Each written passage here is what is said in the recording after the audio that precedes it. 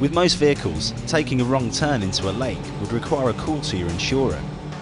But for the Panther, the wet stuff poses no problem as it can make the switch from car to boat in just 15 seconds.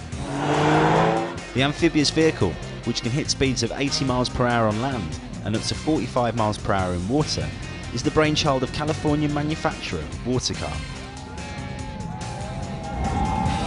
Panther costs $155,000 and features a lightweight chromoly steel chassis and fiberglass hull.